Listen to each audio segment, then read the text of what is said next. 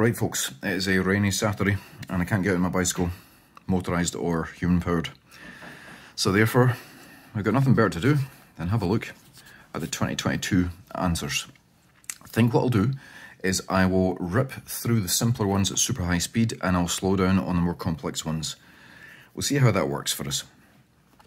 Once again, public health warning. Don't watch this if you don't feel like it. Um, if you start feeling bad while watching it because you realise you've made some mistakes, just stop. Wait for August. For the rest of us that are still listening, what we got? Um, explain why diatomic elements form non-polar molecules. Simple, there are identical electronegativity values for the elements' atoms. That's why. So, same EN values. Explain the decrease in covalent radius, going from nitrogen to fluorine. Nitrogen fluorine. Can't find them on my own periodic table. Have you done much chemistry, hey? Um, simple answer there, again, one mark. So there's an increase in nuclear charge, pulls the electrons in uh, to a tighter, basically. That's why they get smaller. First ionization energy. I wonder how much detail they're looking for here. Sorry, uh, paper on screen.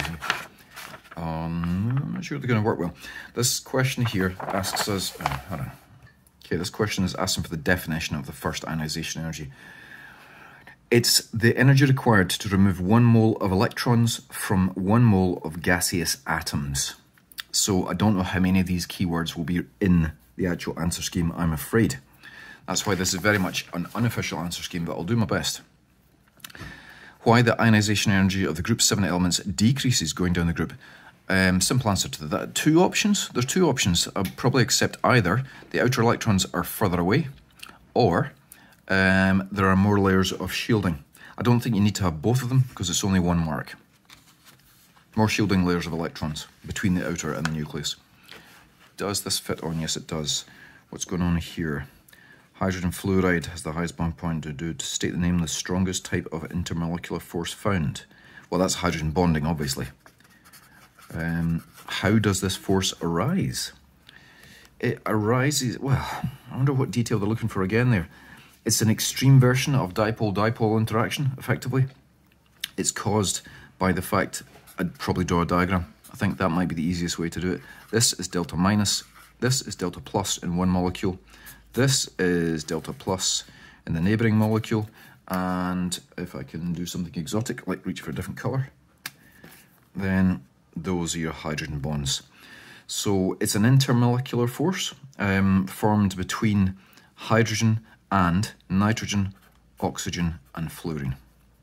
Again, not totally sure what level of detail, but if it was my exam, I would have done something like that.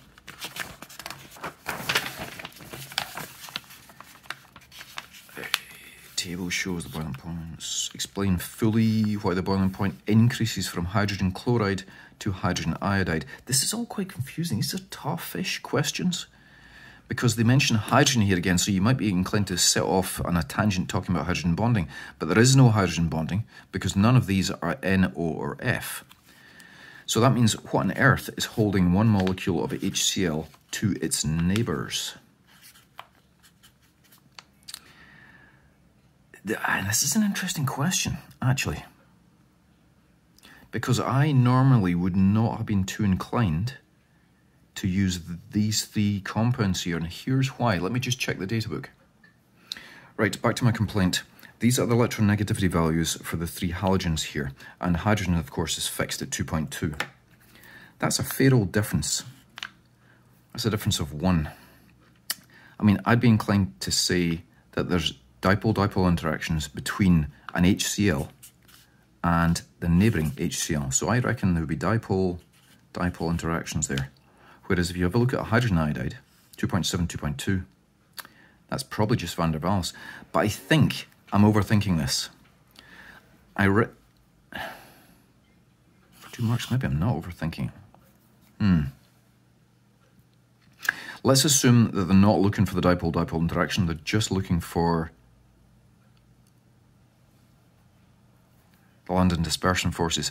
I think they're looking for you to say that the London dispersion forces between hydrogen iodide molecules are much stronger than the London dispersion forces between hydrogen chloride molecules, simply because of the number of electrons involved in this molecule is a lot less than the number of electrons involved in this molecule. I think that's probably enough to get you two marks. If, like me, you perhaps overthought it and thought this one is dipole... Sorry. Oh, no, no, in fact, no, ignore everything I just said. Ignore I'm raving like a lunatic. That's the coldest boiling point. That's the highest. Yep, that's fine. They're just looking for different strengths of London dispersion forces. Nothing whatsoever to do with dipole dipoles. Good, good.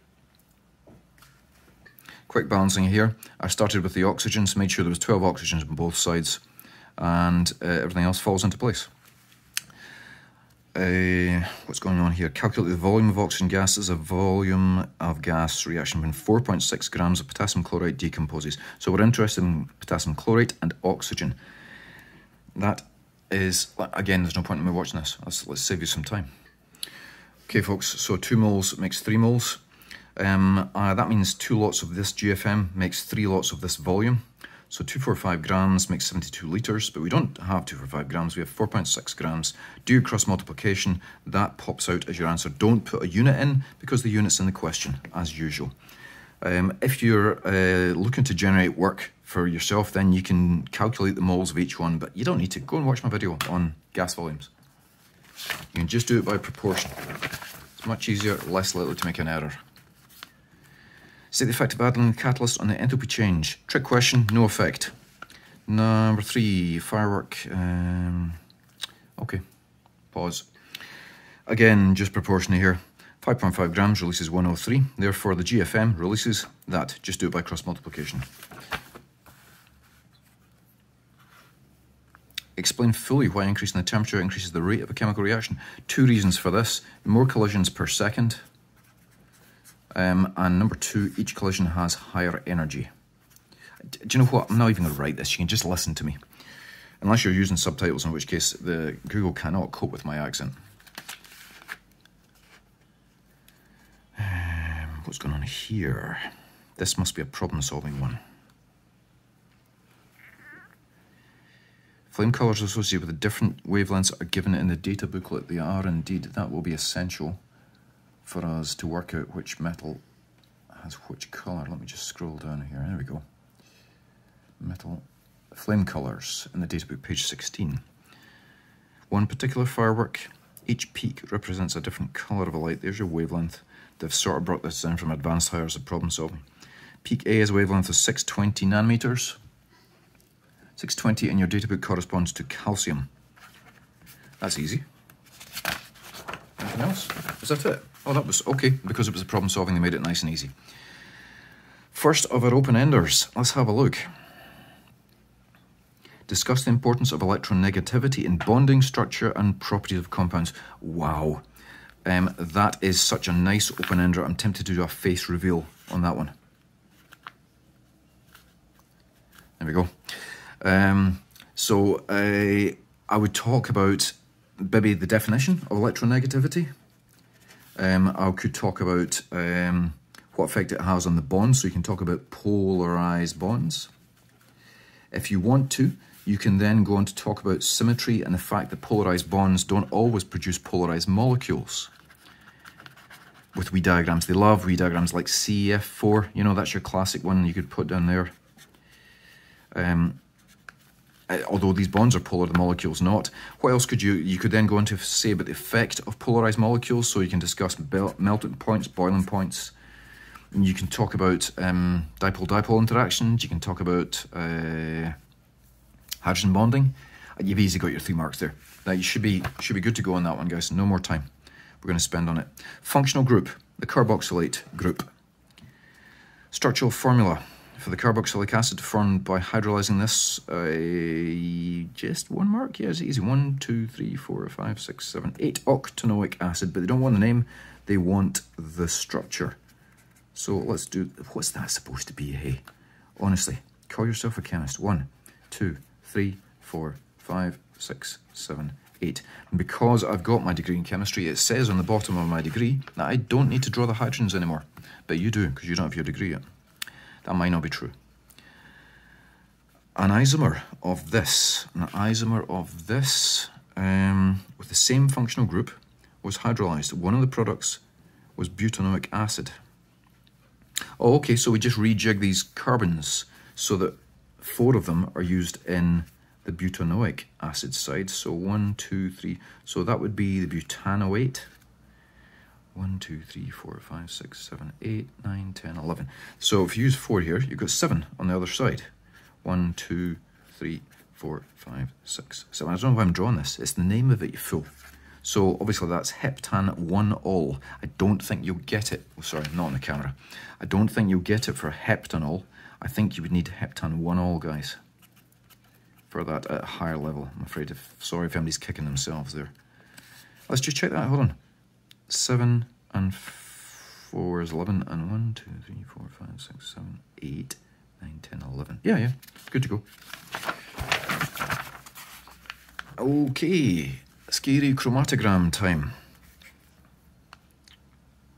What's going on here? Chromatography. We've got absorbance and we've got retention time. Oh, this is a form of gas chromatography. I did a video about this. Hopefully it might helped somebody.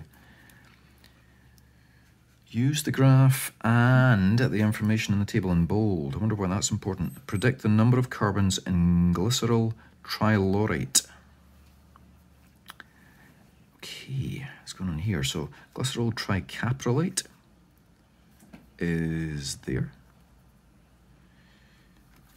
Glycerol, glycerol tricaprate. Yeah, pick words that are very similar to each other. That's helping everybody, isn't it? Actually, sorry, talking about that, I misread that question. That's the caprolate there.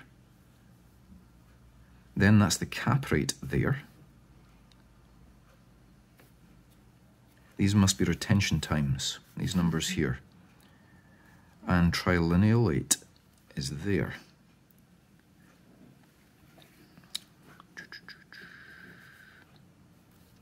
So if you've got 27 carbons,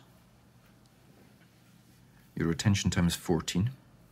If you get 33 carbons, your retention time is 16. And if you jump all the way up to 57 carbons, the retention time jumps up to 19. And we're looking for this one here, trilaurate. Trilaurate? Hmm, so the difference here of two, I've gone up by four carbons. Sorry, can't count, six carbons.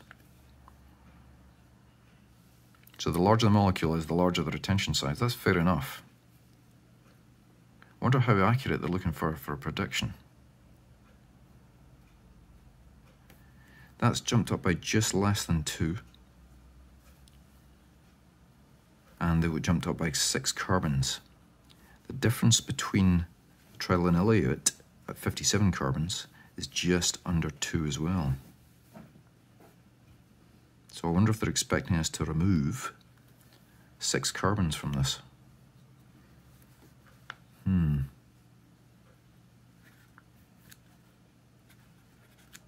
C49, I think, would be my sort of guess on that one. Sorry, it's off camera, guys. Not totally convinced, but that's only one mark. So I'm going to guess they're going to accept a decent amount of leeway on that. But um, hopefully you can see what I've done with the jump in retention time, matching that up to this corresponding, approximately corresponding jump and the difference in the number of carbons. I think that's the way to go. Prove me wrong in August when the marking scheme comes out. Identify the compound listed in the table which is the most unsaturated. That's the ratio of hydrogens to carbons then. So 2 times 27 plus 2, hang on, Okay, so we've got the number of hydrogens it would be if it was totally saturated here. And here's the actual number of hydrogens from the table. As you can see, um, this one here is got the largest difference in hydrogen, so therefore it's the most double bonds. Edible. Oh, I hate this question. Hate this question because the chemistry is wrong. Chemistry is just no wonder my wife's throwing things around the room. I don't blame her. She's quite right. This I keep telling SQA about this. See if anybody from SQA is watching this highly unlikely as that is, you show me the chemistry paper that says that you can react. I can't even remember what it is because it's wrong. It's edible oils. They say you can react edible oils with glycerol to make emulsifiers, and you flipping well can't. Ah, anyway, let's move on. Sorry, I'll keep my blood pressure down. Explain fully how emulsifiers prevent non-polar and polar liquids from separating into layers. Right. I probably do this diagrammatically. So something like this, or the text version of this as well, of course. What we've got is we've got polar liquid here, and we've got non-polar liquids here. Um, and if it was me in the exam, I'd probably just label these just to make sure these are hydrophilic. I, again, I'm not going to write this. This is not the same as my normal paper going over that. When I do, it's super quick. So hydrophilics dissolve in the non-polar. Hy hydrophobics dissolve in, sorry, hydrophilic dissolves in the polar. Hydrophobic dissolves in the non-polar. And I think for the final thing they might ask you about is why don't they just reform again? Well, these are negatively charged, which then means they repel each other. You get repulsion, and it holds the little blobs apart. I think diagrammatically, I'd do that. You can do it in text if you fancy, but it's going to take you a heck of a lot longer. State the name of this alcohol. Uh, so one, two, three, four. So it's butan one all, and the methyl group is on one, two, three, three methyl butan one all. That's easy. Propanol is also found in fusel oil. Never heard of it. Um, complete the ion-electron equation. Oh, okay. So stage one, balance the non-oxygen element, which is carbon is balanced. Stage two, balance uh, oxygens by adding waters. You don't need two. The oxygens are balanced as well. Stage three is balance the hydrogens by adding hydrogen ions, which means you'll need two hydrogen ions on this side. And lastly, you need to balance the charges so they're the same. So that would be a, two electrons. There you go. That's an unusual one. You can see why they've done that. It's quite a sneaky question, but I like it. Suggest why the potassium dichromate must be acidified. Oh, because you need 14 hydrogen ions for every one dichromate ion. You need a bucket load of hydrogen ions. That's why you need to acidify it. That's my new SI unit, a bucket load. It's a bit less than a shed load though. 5b, colour change acidified potassium dichromate goes from orange to bluey green. You just need to know that. Name the reagent that provides this oxidizing equation for the reduction. Uh, could be used to oxidize propanol. Another oxidizing agent that could be used to oxidize. What? What's this question asking? Equation for the reduction of another oxidizing agent.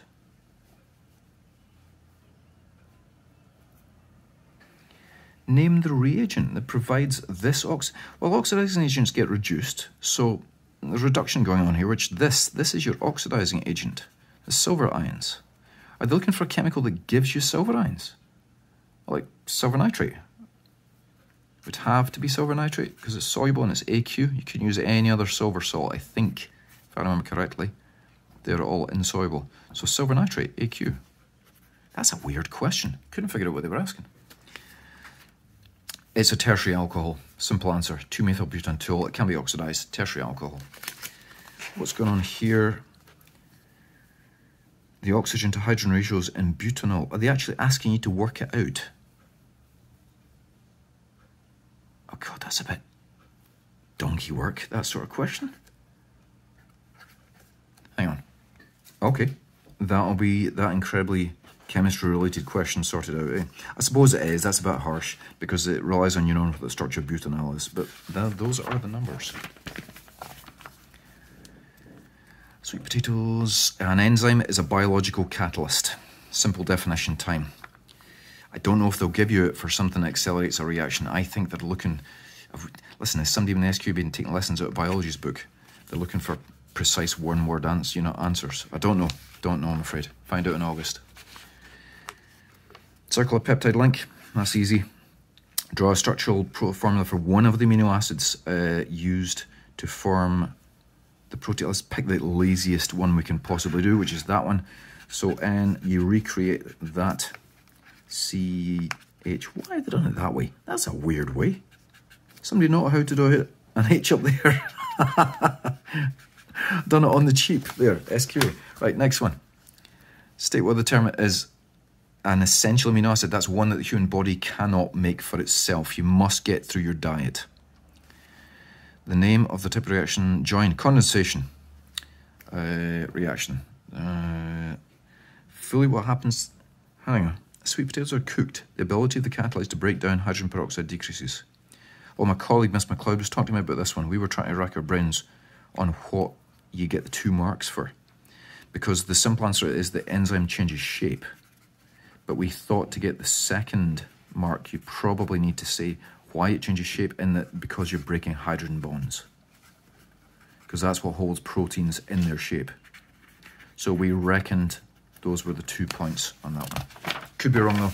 Don't worry if you've got something different, it could be valid. Uh, oh, this one as well. I was discussing this with Miss McLeod as well. This is a really unusual experiment drawing one because normally they give you the start and you have to complete it from there. But there is no start here. This is all we've got. Draw a diagram showing that could be used to measure. First of all, react hydrogen peroxide with sweet potato and measure the volume of oxygen produced. This one is actually, if you've got um, the nerve. If you hold your nerve on this one, it's actually not as bad as you think. So in here, we'd have to have some sort of container. I've just gone with a conical flask. You can use a beaker or a big boiling tube even for all the difference it makes. You're going to have a delivery tube coming out of here. And I think I would resort to my favourite. You measure the volume of oxygen produced. I think we're just going to stick it into a gas syringe. You could, of course, bubble the oxygen through water. Totally valid, even though I know, don't shout at me if out there Oxygen dissolves in water a wee bit, I know, ask the nearest fish. Um, let's just finish off this with stoppers though, there and there. I'm not sure how well this is coming out um, on video, can we assume? There we go. Um, so you need to seal that up there. Um, let's label things. So that is our gas syringe. Uh, do you need to label that as a delivery tube? Probably not. Um, you'll need to have some liquid in here though, so H2O2 per solution. And chunks of sweet potato.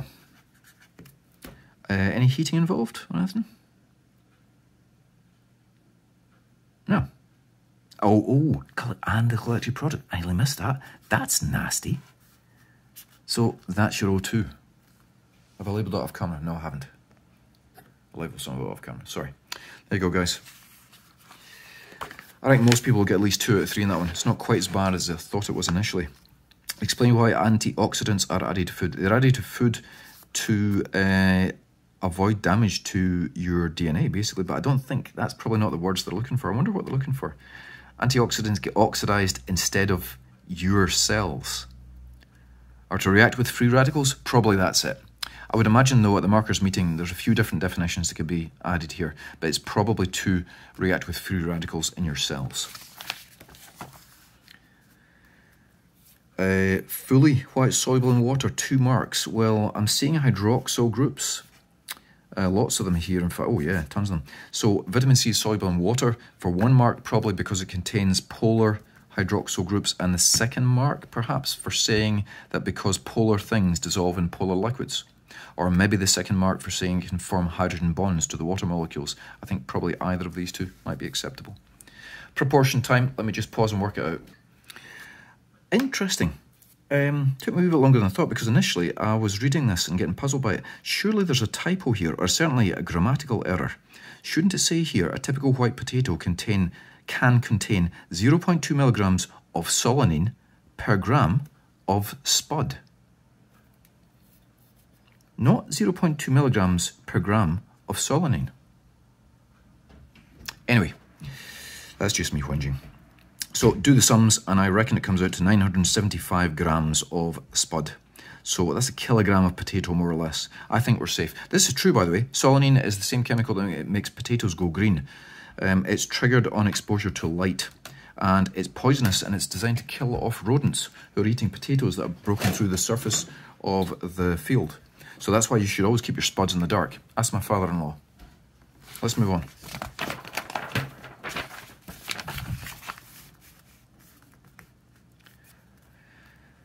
Natural gas is a source of methane. It is indeed. Uh, methane was burned to raise the temperature or as an enthalpy of combustion.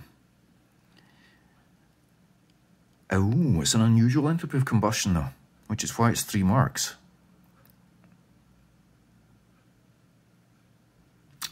Because normally you're solving for the enthalpy of combustion itself, and they've actually given you the enthalpy of combustion here. They're asking you for the mass of methane that would, assuming 100% transfer, by the way, which they haven't said either, should say that in words, assuming 100% efficiency. Um, I'll pause and work this one out. So the energy we need to generate is that number of kilojoules. As in the energy we need to release, sorry, to do the heating. Now they're telling us now that 891 kilojoules is released by one mole of methane. So 891 kilojoules would correspond to one mole. I'll tell you what I'm going to do now though, I'm going to replace that mole with its GFM because they're asking for a mass in grams. So they don't want a number of moles. So let's scratch that and replace it with 16 grams because that's the GFM of methane. So 891 kilojoules would be re re released by burning 16 grams of methane. We only need 11.286 kilojoules. So I reckon we'll do a cross multiplication and I'll get an answer for you. Yeah, not much. As you can see, 891 is from 16. We only need 11. So a quick sanity check proves that you should have a lot less than we're getting 0.203 actually to three significant figures, otherwise known as 0.2026 grams. Not much methane. Oh, look, I'm doing what I tell my own students not to do. If the unit's in the question, don't put in the answer. Let's move on. Um, how far through this are we? I wonder. I'm not going to bore you all, guys. Hopefully you're finding this useful. Bond enthalpies. Using bond enthalpies from the data book. Oh, this is a bond breaking, bond making. Allow me to show all the bonds that we break and all the bonds that we make. In fact, I'll do it in a different colour since we have the luxury Apologies to anybody who's watching this who suffers from colour blindness. I love using different colours. It just must all look very monochrome to you. I'll be right back with the answers. Okay, this will be embarrassing in August if I get this wrong, but according to what I can see, the answer is negative 816. Is there an answer, kilojoules? Yeah, there we go. Let's just leave it at that. Oh, helps when I show you my arithmetic, silly old fool. There you go, guys. Have a look at that. Breaking bonds and positive, making bonds and negative. That's meant to be negative there, by the way. So you can pause it and have a look. See if that looks even vaguely familiar. As I said, don't go, this is necess not necessarily gospel that I've got all these right. You know me, I'm famous for making a few mistakes here and there. Atom economy. Right. Have I missed something here? Or is this quite as easy as it looks? Three lots of hydrogen you're making on the right hand side, so total mass of desired products is just hydrogen divided by the total mass of all the reactants times 100. That seems too easy for two marks. Tell me in the comments if I've missed something, which is entirely possible. 17.6%. okay. Another natural occurring gas. Oh, okay. Uh, equilibrium time. We're trying to drive nitrogen dioxide. Oh, trying to drive it backwards, actually. Trying to drive it to the left. Now, this is for the forward reaction. So the forward reaction exothermic, which means the backward reaction is endothermic. So you want high temperature. Uh, and there are um, two moles of gas on this side, only one mole of gas on this side, so you want low pressure.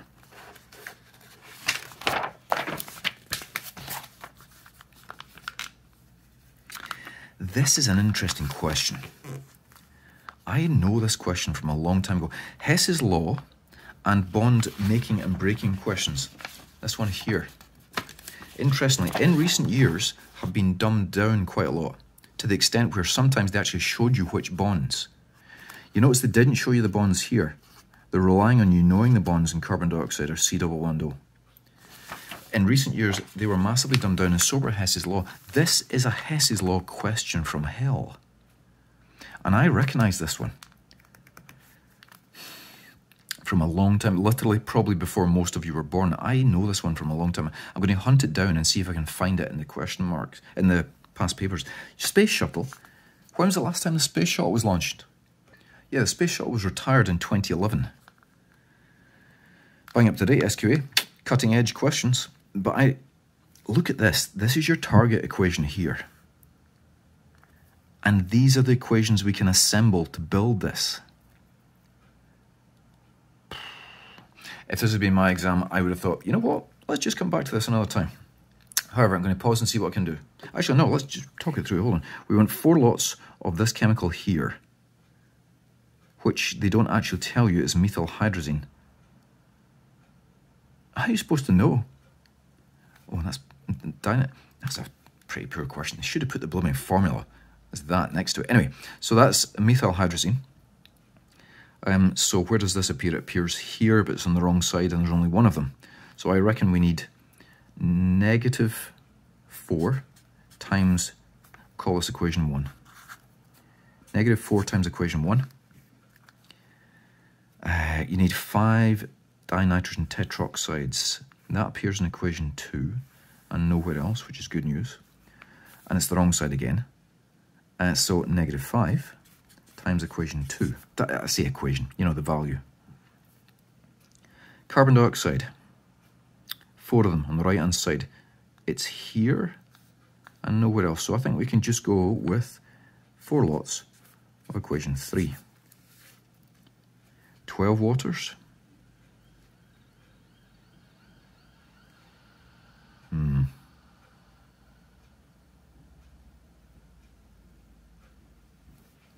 And we need nine nitrogens as well. Oh, that's okay, there's nitrogens here, so they will probably add up to nine. 12 waters in the form of gas. So the waters would have to be on the right hand side, which you see here, which is fine. So you need 12 lots of equation 4. So what's equation 5 for? Well, equation 4 ends with liquid water, and finally, you're going to have to convert it to gas. And because there's 12 of them, you're actually going to need 12 watts of equation 5. I don't think many people in Scotland will be getting the marks for this. I'm not entirely sure I've got the marks for it either. If this was, what I'm going to do now is I'm going to punch in these numbers and just end up with a number and see if it sounds vaguely correct, but don't take my word for this. Also, if this was my exam, I would actually go back and do a horrendous big evaluation. I would actually multiply each of these reactions and products and put them through what I call in my class simultaneous equations, cancel everything out, and see if I did end up with my target equation here. Um, but I'm just going to do the numbers version here. According to what I can see, that in theory is our answer. Which, by the way, is there any way to do a sanity check on this? Yep. If you're talking about rocket fuel, you better first of all be exothermic, and it's a hell of a big exothermic kick to make you leave the planet. Full structural formula for me. Oh, methyl hydrazine. Oh, yeah, now give the formula. It's problem solving time, guys. Um, I'll just draw out the correct one. If you've got another one that matches and all the bonds are still correct, then it's all good. A hydrazine, I'm just showing off here because I know what hydrogen looks like little bit of flex in terms of chemistry.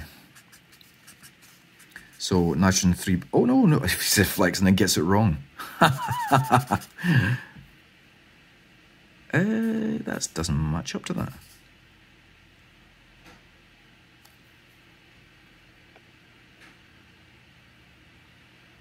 Hmm. That must be a single bond, then you daft old fool. Yeah, flex, because you know what uh, hydrazine looks like, hey, and then get it wrong. That's interesting. There we go. Happy with that? So three bonds on here, three bonds on here, four bonds on here. You. Stand there and rant at the SQ, then you get one of your own answers wrong. Um, feature of the reaction. What's going on here? Catalyst for this reaction is copper 2 oxide. Complete the table by circling one option on each line to show the effect of copper 2 oxide on the reaction. Oh, almost a trick question time. Catalysts always increase reactions both forwards and backwards. Position of the equilibrium, no effect. There we go. Water-gas shift reaction is exothermic, as in the forward direction. Left to right is exothermic. Um, that means the yield of carbon dioxide, which side is carbon dioxide on? Carbon dioxide on the right hand side. So as you crank the temperature up, then you'll get less and less carbon dioxide made. So something along the lines of that. Don't know if that, yeah, I don't see why they wouldn't accept a curve or a straight line. It's all good as long as you start high and end up low. That's all they're looking for there. Number eight. Uh, show by calculation that sorbic acid is the limiting reactant. In other words, sorbic acid all gets used up. Right, let me do that for you. Lighting's going very odd on my phone here. The pixel is looking very blue. I think I'd be inclined to do this by proportion. I normally do it by moles. 112 grams would require one mole of KOH. 7 grams uh, of sorbic acid would require, let's have a look, um, not much. 0.0625 moles of potassium hydroxide. Let's have a look at our volume and our concentration. We've actually, that's required in order to use up all of this. And we're trying to prove that that's going to happen. So we've got a concentration of 0.5 and we have a volume of 0.25. So 0.2 times 0.25, I can do that in my head, is 0. Point... Okay, hold on. You get that wrong. Oh, haha, 0, 0.0. 0 0.0625, that's more like it. I was about to say, mm, we would, uh, we have actually got 0.125 moles of potassium hydroxide, and in order to burn up 7 grams, which is how much we've got, of the sorbic acid, we would only require 0.0625. Therefore, we have excess potassium hydroxide. In other words, this is the limiting reagent. Quite nice two marks. How far through this are we, guys? I don't want to bore you to death here. Could split the video, couldn't I?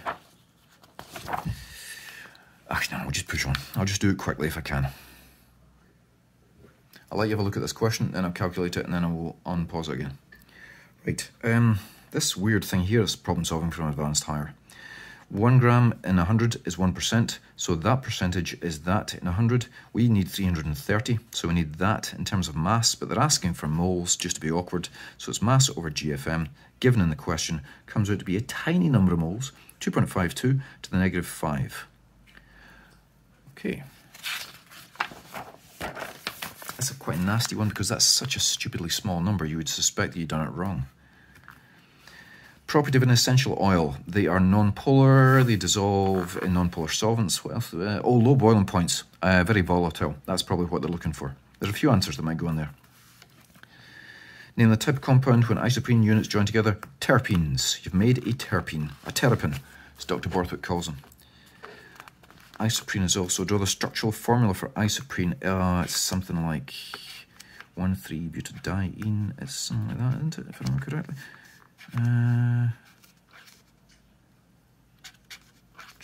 the hydrogens in. One hydrogen here, no hydrogens there, two hydrogens there. So that look about right. One, two, three, four, five, three, four, five, six, seven, eight. C5H8. Yep. State the number of isoprene units in a zingiberene molecule.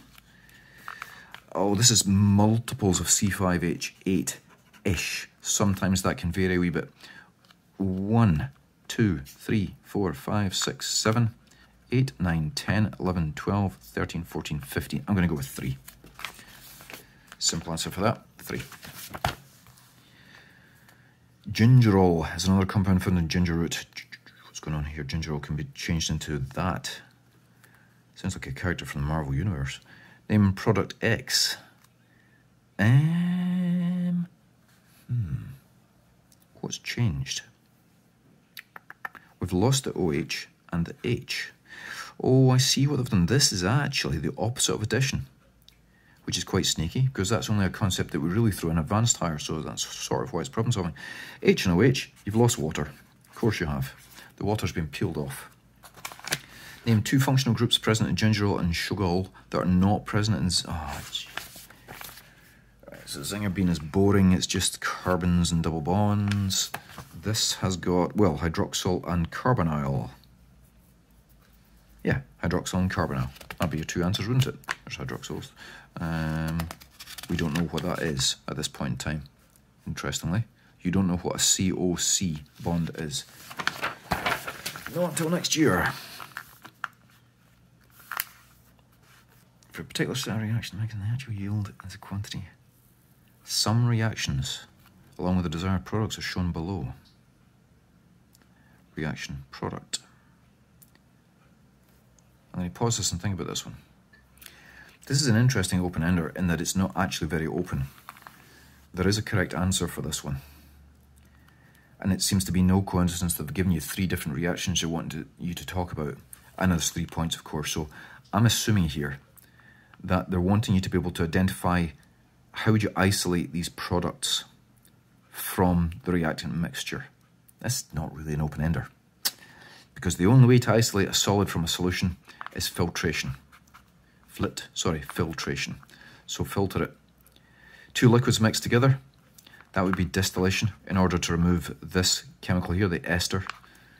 And then solid and a gas, well, just collect the gas. Um, so gas collection. So it's diagram time really for this one, isn't it? I always say this is more of a practical question, open it. But anyway, um, I'll shut up there. This is an unusual one. We'll see how you got on with this one, folks. But I think that's what they're looking for. On the other hand, you know how open-enders work. Don't panic if you haven't done this. It does mention specifically, see, determining the yield. Describe how the yield in a reaction could be determined. So this is why it's not a very good open-ender. Because there's sort of only one way to do it. We are getting there, folks, on the home stretch now.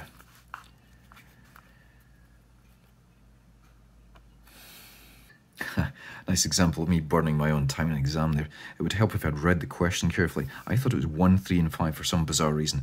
3, 4 and 5. I took a good three minutes trying to find a pattern in the wrong three.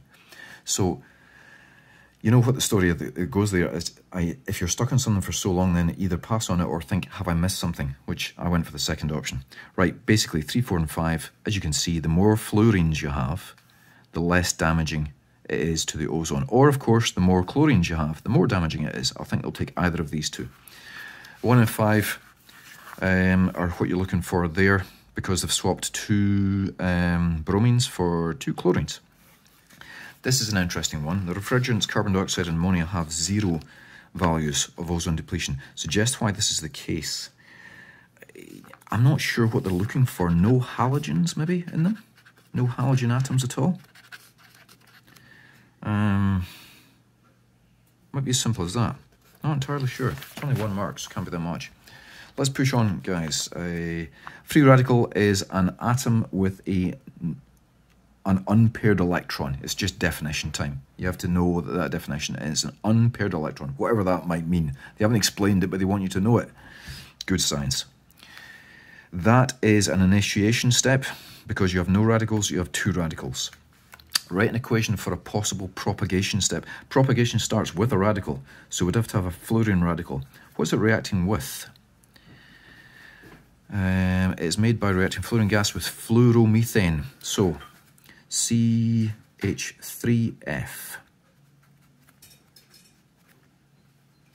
Now, there's probably a couple of different answers you can have for this one, but in reality, what you probably end up with would be HF, it would pinch an H off there, and you'd end up with a second radical, which in this case would be CH2F, and you need the dot on there. The dot could go in sort of anywhere, really. Let's do this last proportion calculation. Right, are we on camera? Yes, we are.